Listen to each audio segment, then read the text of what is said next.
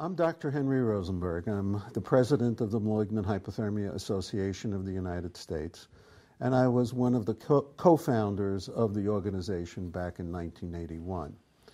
And I'm here to talk with uh, Dr. Keith Ellis, who was a seminal figure in the identification and the introduction of dantrolene, which we will call Dantrium uh, which is the IV formulation of it during the course of this discussion, um, in, the, in the early days of identifying this unique drug in the treatment of this unique syndrome.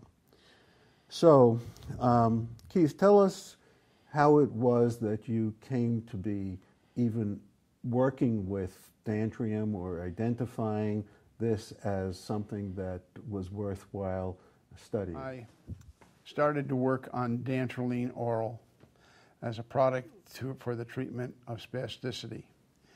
And in the process of doing that, uh, we tested its uh, utility and its effectiveness via intravenous administration. And one of the things that we noted when we administered the drug uh, intravenously is that it produced muscle relaxation. And the muscle relaxation was unique uh, in terms of the, uh, the type or the level of relaxation. It was actually uh, almost flaccid paralysis that uh, the animals experienced. And in the process of doing that, we uh, uh, thought about potential uses of a drug like Dantrium that Dantrium IV that produced this tremendous level of muscle relaxation, but uniquely uh, did not have respiration wiped out.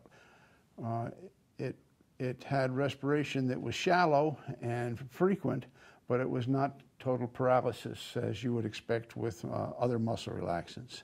And therefore, as we progressed, we were in, in essence a drug looking for a uh, a, a drug, a need, the need for a drug treatment uh, of a disease. And uh, that's how we uh, kind of, in a thumbnail sketch, uh, arrived at Dantrium IV for the treatment of MH.